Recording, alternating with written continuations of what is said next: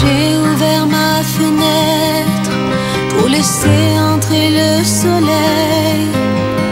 Pendant que tu dormais à point fermé. J'ai fait du café noir pour voir si je ne rêvais pas.